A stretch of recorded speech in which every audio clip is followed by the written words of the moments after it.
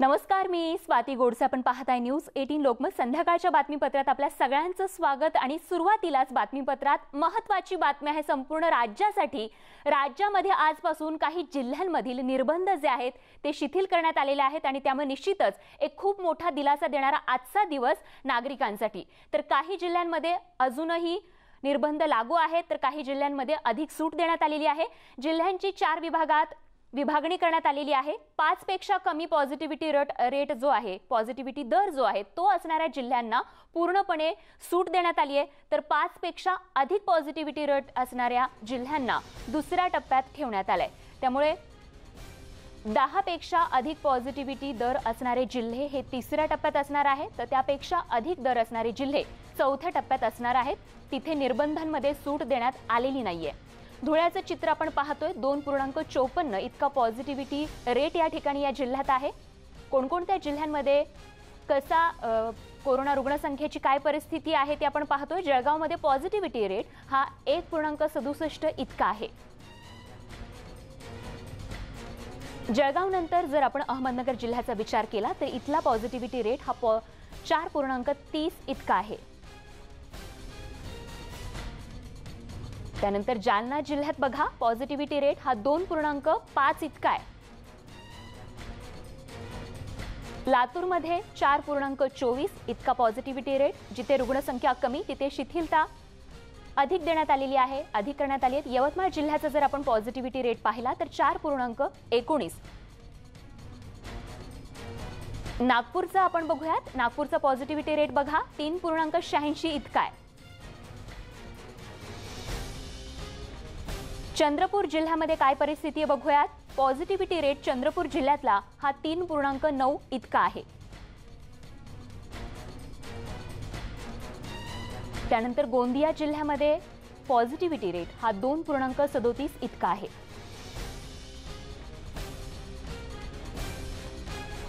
नांदेडमधलं बघूयात. नांदेडमधली positivity rate जर आपण पाहिला तर तो आहे दोन पूर्णांक सदोतीस इतका.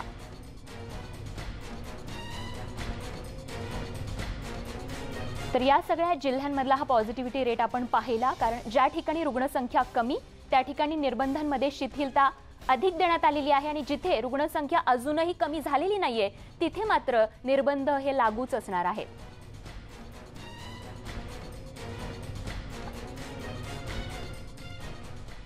मुंबईकरांसाठी बातमी आहे मुंबईतून. मुंबईमध्ये निर्बंध शिथिल होताच. आता मुंबईकरांची रस्त्यावरती मोठी गर्दी होताना बघायला मिळतीये. कारण लॉकडाऊन चे नियम जे आहेत ते शिथिल करण्यात आलेले आहेत आणि नियम शिथिल होताच ही अशी गर्दी रस्त्यांवरती बघायला मिळतीये. ही गर्दी या दृश्यांमधलं हे ट्रॅफिक आहे मुलुंडच्या टोल नाक्यावरती. मुलुंडच्या टोल नाक्यावरती ही वाहनांची अशी मोठीच्या मोठी लांबच्या लांब रांग आपल्याला बघायला मिळते तब्बल तीन महिन्यानंतर या इतक्या मोठ्या प्रमाणात वाहनं जी आहेत ती अशी रस्त्यावर आल्याचं आपल्याला बघायला मिळतं आणि त्यामुळे इथे वाहतुकीवर त्याचा मोठा परिणाम झालेला आहे. मुलुंड टोल नाक्यावरती वाहनांच्या ह्या अशा रांगाच्या रांग मोठी रांग लागलेली आहे तर रस्त्यावरही वाहनांची गर्दी दिसतीये.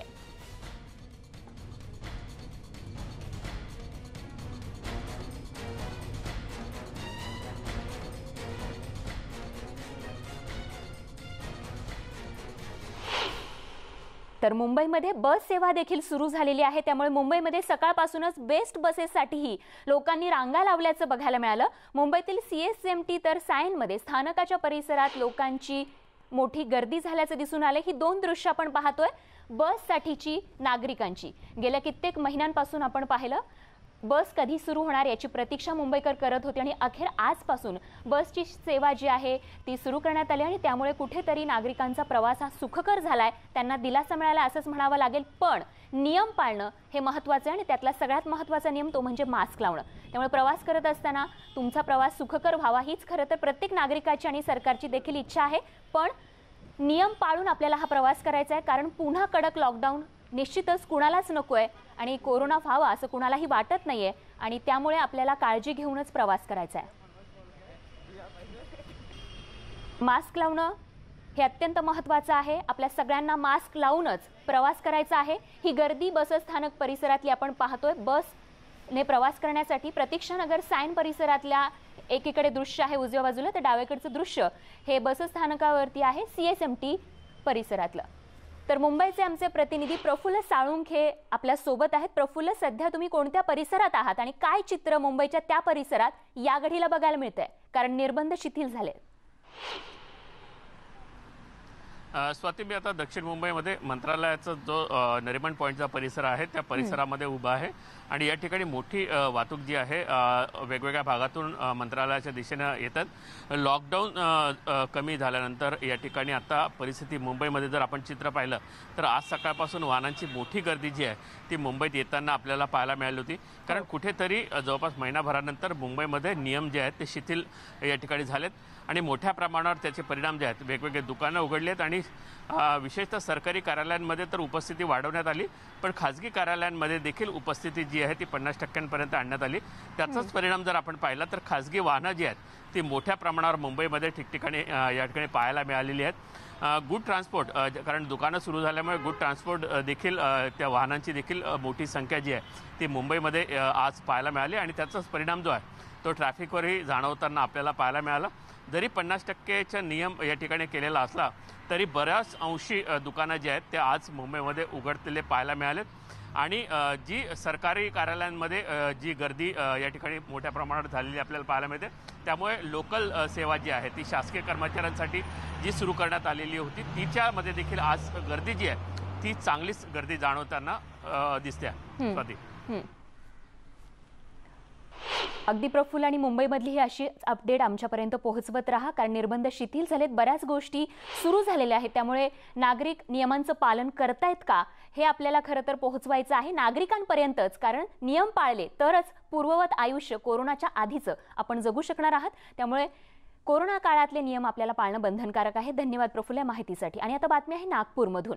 नागपूर शहराचा समावेश पहिल्या श्रेणीत असला तरी नागपूरमध्ये पालिका प्रशासनाकडून काही निर्बंधांसह सरसकट शिथिलता देण्यात आली आहे. नागपुरात काही निर्बंधांसह व्यवहार जे आहे ते सायंकाळी पाच पर्यंत सुरू राहणार आहेत. ज्यामध्ये थिएटर्स मॉल्स हॉटेल हे पन्नास टक्के क्षमतेनं सुरू असणार असल्याचं कळतंय.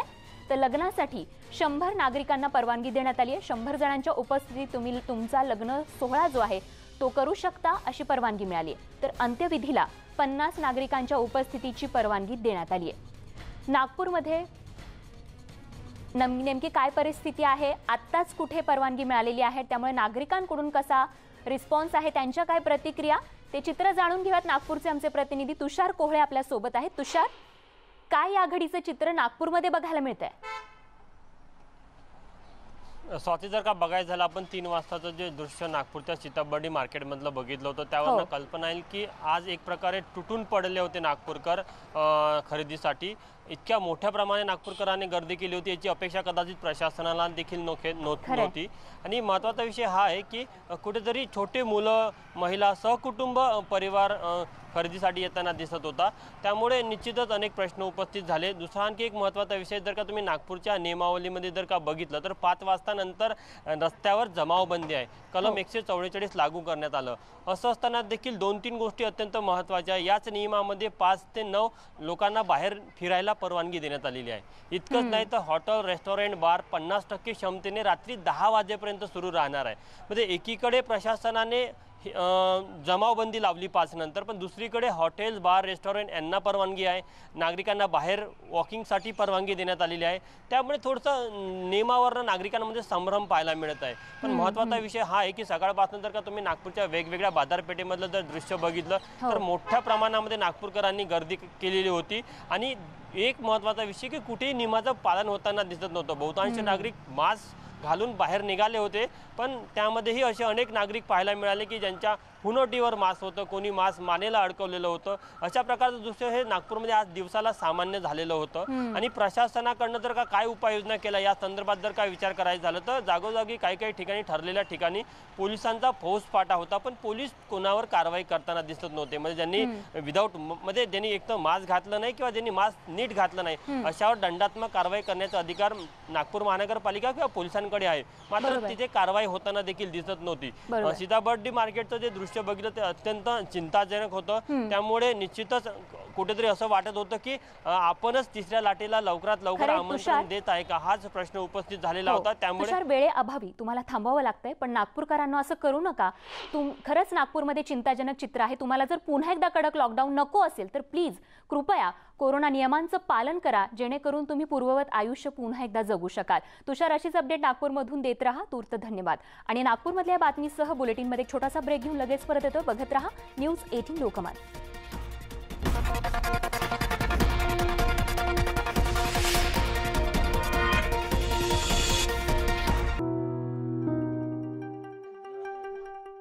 खूप जीवन जगलो. मृत्यूची आता भीती नाही. तरीही जीवनाकडे दुर्लक्ष कशासाठी? या आहेत एकशे चोवीस वर्षांच्या रेहती बेगम. त्यांच्याकडे प्रचंड आत्मविश्वास आहे. कारण त्यांना कोरोनावर मात करायची आहे. त्यांचा लस घ्या हा फोटो आता व्हायरल होतोय. या फोटोमध्ये दिसत असलेल्या रेहती बेगम या जम्मू काश्मीरच्या बारामुल्लातल्या क्राल इथल्या रहिवासी आहेत. त्यांचं वय आहे एकशे चोवीस. आणि या वयातही त्यांना जीवनाबद्दल खूप आस्था आहे. त्यांनी लसीकरण केंद्रावर जात नुकताच पहिला डोस घेतला. और इसे खुद कहा अपनी जबान से कहा कि पिछले ज़माने में ऐसा इलाज नहीं था कि लोगों को अगर ब, ब, कोई बीमारी होती थी वो इलाज नहीं कर सकते थे। आज वो मतलब आज वो इलाज मैसर है। जम्मू काश्मीरच्या जनसंपर्क विभागानं रेहती बेगम यांच्या लसीकरणाचा फोटो ट्विटरवर शेअर केलाय. यामध्ये रेहती बेगम या खुर्चीवर अगदी आरामात बसलेत आणि लस टोचून घेत आहेत हा फोटो पाहून लोकांनी रेहती यांच्या हिमतीला दाद दिली.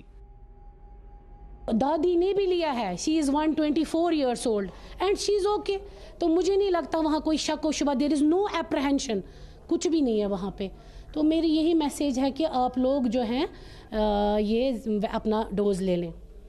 देशातील लसीकरणाच्या पार्श्वभूमीवर जम्मू काश्मीरमध्ये घरोघरी लसीकरणाची मोहीम राबवली जाते एकशे चोवीस वर्षांच्या रेहती बेगम या अभियानाच्या प्रेरणास्थान बनले आहेत अधिकाधिक लोकांनी लस घ्यावी आणि सुरक्षित व्हावं हाच नेटवर्क एटीनच्या संजीवनी अभियानाचा उद्देश आहे. कारण लसीकरण म्हणजेच संजीवनी. Bureau report news eighteen Lokmat.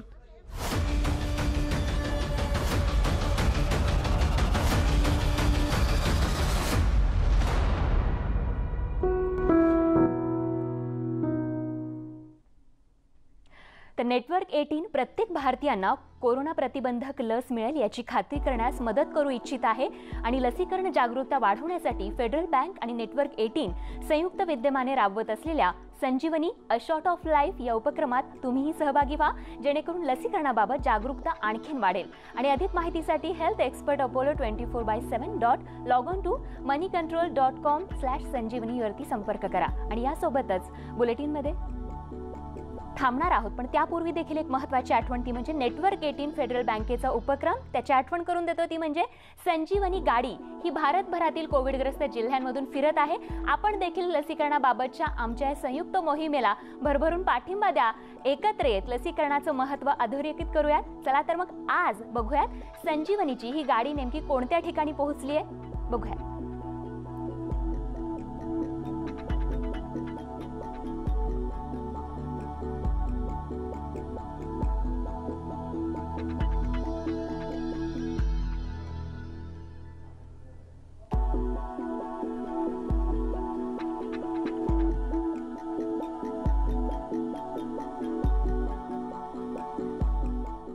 आणि आमच्या विशेष उपक्रमाच्या बातमीसोबतच या बुलेटिनमध्ये वेळ झाली इथेच थांबण्याची पण. जाता जाता तुम्हा सगळ्यांना एक महत्त्वाची आठवण ती म्हणजे मास्क लावा सुरक्षित रहा आपली आणि आपल्या प्रियजनांची काळजी घ्या. आणि ताज्या बातम्यांसाठी बघत रहा न्यूज एटीन लोकमार्ग.